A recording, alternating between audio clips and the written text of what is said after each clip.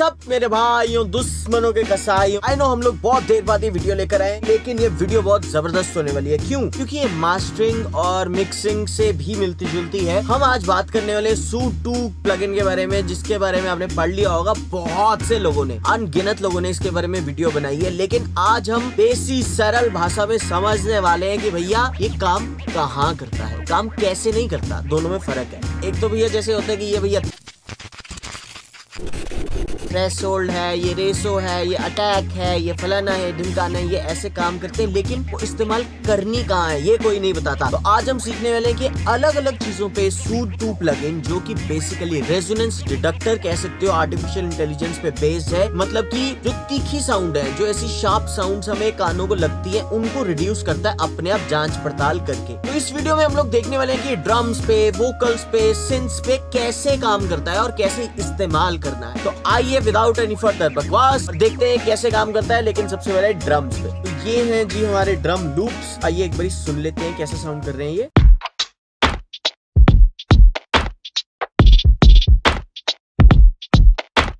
Lofi genre है। सुनने में बहुत अच्छे लग रहे हैं, ऐसे कोई दिक्कत है नहीं है, लेकिन आपने बहुत बड़ी बात सुनी होगी कि यार ये सेम फैमिली के नहीं है चॉइस ऑफ़ एलिमेंट्स नहीं जा रहे हैं। अब जैसे ये लोफाई जॉनर है, अब जैसे ये ड्रम लूप है तो आई नो आप लोगों ने देखा होगा कि इसके अंदर कुछ ऐसी चीज़ें जो कानों को हर्ट कर रही है। अगर आप हेडफोन्स पे हो, अच्छे पेयर ऑफ़ हेडफोन्स पे हो, या फिर आप फ़ोन पे भी सुन रहे हो तो आपको पता लग जाएगा जो हाई हाइट्स हैं स्पेसिफिकली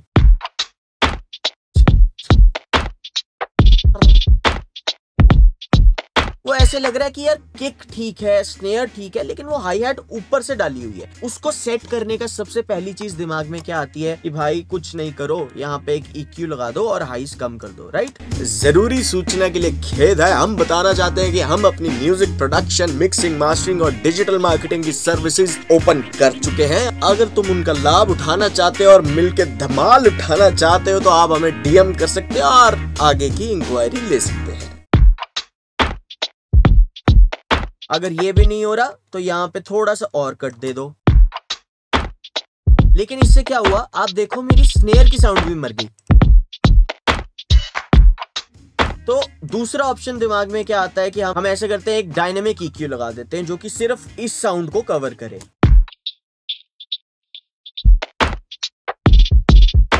लेकिन अगेन ये भी इंपैक्ट डाल रहा है। अगर मैं यहाँ से अपनी सिर्फ़ केक ऑन कर देता हूँ तो तो आप देख रहे हो, ये मेरी किक को भी मार रहा है। और अगर मैं यहाँ से स्नेयर ऑन करता हूँ, उसको भी मारेगा ये। मैं चाह रहा था कि कोई भैया जादू अंतर करके हमारे सिर्फ़ हाई हैट्स को कम कर दे तो वो काम करता है हमारा सूद भैया। अब सूद भैया को एक बार यहाँ पे ले आते हैं, इसको ऑफ़ करके और देखते हैं कि ये कैसे काम करता है। ये मैंने यहाँ पे सेटिंग करी है, लेकिन इसको घबराने की ज़रूरत नहीं है। हम काम करेंगे जैसे आपके घर पे स्टार्ट होगा तो वो होगा फ्लैट स्टार्ट बिल्कुल खाली। इधर इधर ध्यान देने की ज़रूरत ही नहीं है। तुम पहले इधर देखो। हम लोग चाहते हैं कि हाई हैट्स को कंट्रोल करें, ठीक है? तो सबसे आसान तरीका। हाई हैट्स हमें पता है थ्री थ्री फोर के के आसपास उसकी प्रोमिनेंट फ्रिक्वेंसी होती है तो मैं यहाँ से इसको उठा दूँगा। उठाने का मतलब है कि जहाँ पे मैं चाहता हूँ कि ये भैया प्लगइन हमारे काम करे, उस जगह को यहाँ पे रेस कर दो। यहाँ पे एक बटन है, इसको बोलते हैं लिसन का।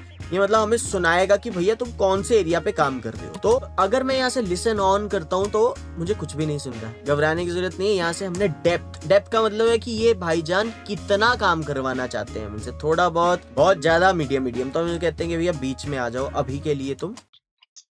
ओके तो इन्होंने काम करना स्टार्ट कर दिया। अब यहाँ पे एक और फ़ायदा भी है सूद का कि आपको ना साथ साथ में रेजोनेंस दिखा भी देता है। तो अगर आपके कान अभी इतने ट्रेंड नहीं है तो आपको दिख भी जाएगा कि कहाँ पे है। तो जैसे मैं यहाँ ले आता हूँ। तो एग्जैक्ट उस जगह पे पहुँच चुका है, जहाँ पे मैं इसको काम करना चाहता हूँ। लेकिन अगर आप नोटिस करें तो मेरी स्नेयर पे भी काम कर रहा है। तो मुझे क्यू छोटा करना पड़ेगा, जैसे कि हम इक्यू में करते थे।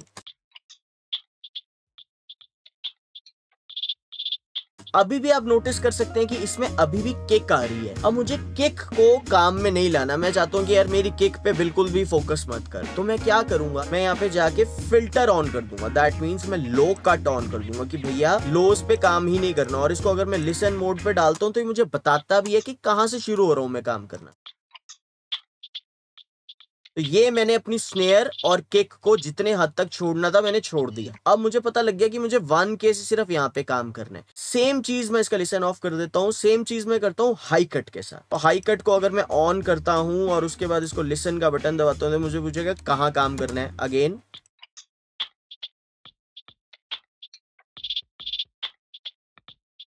तो मैं इसको यहाँ पे फिट कर देता हूँ। अब मैं अगर इसको सुनू तो मेरे को देखते हैं कि क्या रिज़ल्ट क्या मिला है। इसके पहले हम कहा थे? हाई हाइट्स पे नोटिस करना।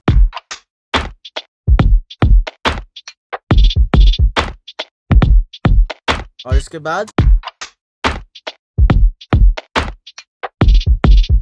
आप देख रहे हो टक इन हो गई अंदर को और मेरी किक स्नेयर पे ऑफकोर्स थोड़ा बहुत इम्पैक्ट तो पड़ेगा। लेकिन उसने मेरा बहुत हद तक ट्रीट कर दिया। अब मैं आ जाता हूँ इसके कंट्रोल्स पे कि इन कंट्रोल्स का। इधर पे मैं ध्यान ही नहीं दे रहा, यहाँ तक सिर्फ़ हमने डेप्थ देखा है कि कैसे काम करती है। अभी हम करेंगे अटैक और रिलीज़ पे फोकस अटैक रिलीज़ पे क्यों फोकस करना है? जो भी स्नैपी इंस्ट्रूमेंट्स है फॉर एग्ज़ाम्पल ड्रम्स है तुम्बी है मैंडोलिन है टिंग डिंग डिंग डिंग जिनमें स्नैप है बेसिकली ट्रांजिएंट है। वहाँ पे मैं अपने सूद का अटैक करूँगा कम। यार, जैसी ट्रांजिएंट आए तो भैया काम करना स्टार्ट कर देना। लेकिन हमने इतना भी कम नहीं छोड़ देना कि भाई वो उसका जो किक है, वो जो टक है ट्रांजिएंट है बेसिकली वो मार दे। तो यहाँ से मैं क्या करूँगा? अटैक को थोड़ा सा ऊपर लेकर जाऊँगा। मैं आपको ज़्यादा करके सुनाता हूँ, होता क्या अगर मैं स्लो कर देता हूँ। तो आप देख रहे हो, काम कितना कम हो रहा है यहाँ पे। और अगर मैं इसको फास्ट कर देता हूँ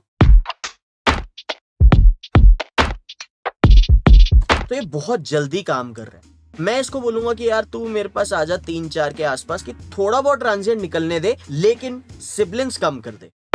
अबे कहाँ सिपकाए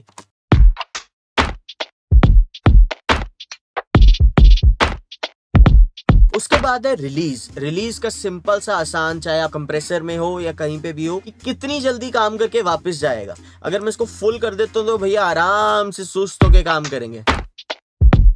तो ये तो हम बिल्कुल नहीं चाहते तो हम चाहते हैं कि आओ जाओ, लेकिन थोड़ा सा रुक कर।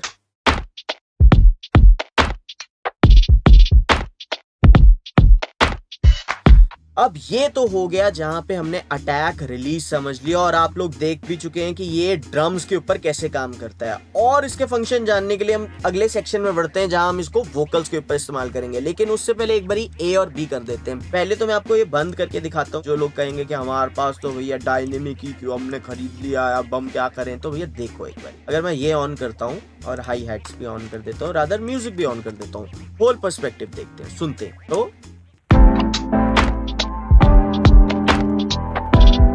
ठीक है जी? ये है क्यू थ्री के साथ। और अगर मैं अकेला ये सूद ऑन करता हूँ तो? आप देख रहे हैं उसने फैमिली के अंदर कैसे टक इन कर दिया मुझे ऐसे नहीं लग रहा कि मेरे ड्रम्स अलग से ऊपर से डाले हुए मैंने। बहुत एक्सट्रीम शार्प है। और